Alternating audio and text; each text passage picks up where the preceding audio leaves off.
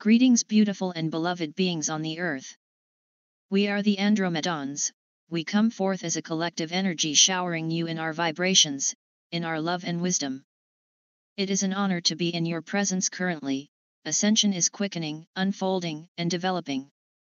It is an exciting time as there are so many shifts, transformations, and changes occurring within your being and outside of you. We, the Andromedans wish to come forth to you today to speak of the sadness within. We feel the earth is releasing much fear and negativity, some of this is being released through your being.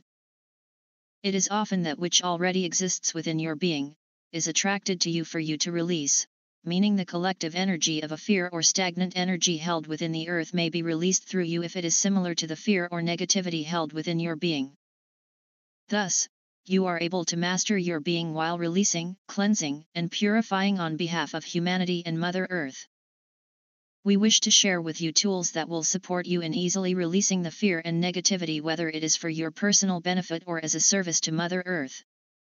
Rather than focus on the negativity or fears held within your being, we, the Andromedans, wish to focus upon the sadness. We feel that sadness is a reflection of fear and negativity, often sadness is more personal and much easier for you to access. You may find that throughout your day different aspects and energies of sadness rise within your being.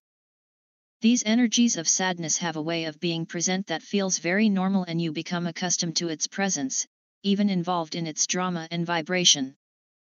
By focusing upon the sadness within we believe it will be easier for you to connect and release this energy, therefore, bringing your attention to the sadness within your being. It is advisable to examine your day, especially at the end of a day to realize if you felt, sensed, or acknowledged any form of sadness. You may be able to list different forms of sadness, there may simply be one or maybe you do not notice any sadness. If this is the case, then we invite you to continue this process each night. Sadness can be like a judgment or a complaint, it does not have to be a bereavement, lack of confidence, or a lack of completion of something. It can also be a complaint, a judgment, or a blockage in an area in which you feel stuck, stagnant, unable to move or unable to recognize a new way forth. Listening to the sadness. Sadness can manifest in many different ways and can be connected to numerous different experiences. In order to master and release the sadness within there is first a need to recognize the presence of sadness in your daily life, as we said to document this whether it is one form of sadness, many, or maybe you do not notice any form of sadness. Then we encourage you to choose one form of sadness, to think of it, to contemplate it during meditation and to predominantly sit with the sadness allowing the sadness to speak all of its words, everything that it wishes to express. Within the sadness there may be anger, frustration, a feeling of lack or being unsupported. Allow yourself to sit with the sadness as if the sadness were someone else and you simply wish to sit and listen to them. Listen to the sadness within, what it says, what it shares, how it makes you feel, notice how it makes your body feel as well. Notice if the sadness creates a momentum moving from different emotions. As you sit with the sadness gradually it will begin to dissipate. While you may still feel it in its presence within your being, by being present with the sadness you are allowing the truth of the sadness to emerge. What is the sadness really trying to tell you? What is the truth of the sadness? It may be a lack of power, that healing or self-love is needed. It could be that you need to physically move yourself whether that is exercise or moving along Mother Earth.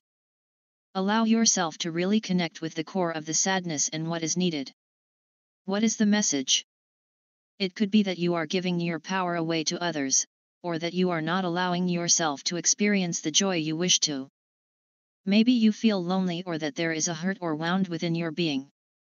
Allow yourself to discover the message, what is really taking place, because often the sadness is the drama but there is a message underneath which is very subtle, very truthful, and when you connect with it you will notice that this sadness dissipates. Once you have connected with this message beneath the sadness then it is time to ask yourself, what action is needed? What do you need to shift, to alter, to transform, or put into action? Only you will know the answer to this. When the answer comes you will feel excited, empowered, and it will be for you to then put this into action. To experience it physically on the earth, in doing so you will shift the inner sadness, release fears and negativity connected to the inner sadness that are personal to you, and also in service for Mother Earth and humanity. We, the Andromedans, are inviting you to achieve this now, because it is a clearing, purification, and supports the releasing of energies within Mother Earth, therefore, raising the vibration of Mother Earth and all beings. It creates the flow and momentum of the Divine Creator's energy throughout your being dissolving stagnant and stuck energies. And this is important in expanding your energies, expanding your consciousness, expanding your ascension, and moving forth in your mastery. In a time when so many shifts are taking place new possibilities and opportunities are ready. Liberating yourself will allow you to grasp these new opportunities and possibilities, manifesting all that is needed and all you desire for your fulfillment upon the earth. Now our practice is simple and yet we feel it is immensely powerful. We encourage you to acknowledge the sadness within you as a deep healing and a release process. Know this healing and release process spans across the entire dimensions of your being, past lifetimes, and civilizations you have been connected with. It is a very deep and thorough cleansing, healing, and purification, which is needed we believe at this time. Please know that you may call upon us the Andromedans to assist you, surround you, and support you in this process. Be patient with the sadness, it is like a flower bud waiting to open, sometimes it takes your attention, focus, and patience in order for it to open up and reveal itself. We wish you all the very best in your journey of shifting the sadness within and acknowledging the beauty that manifests in its place. We thank you. Andromedans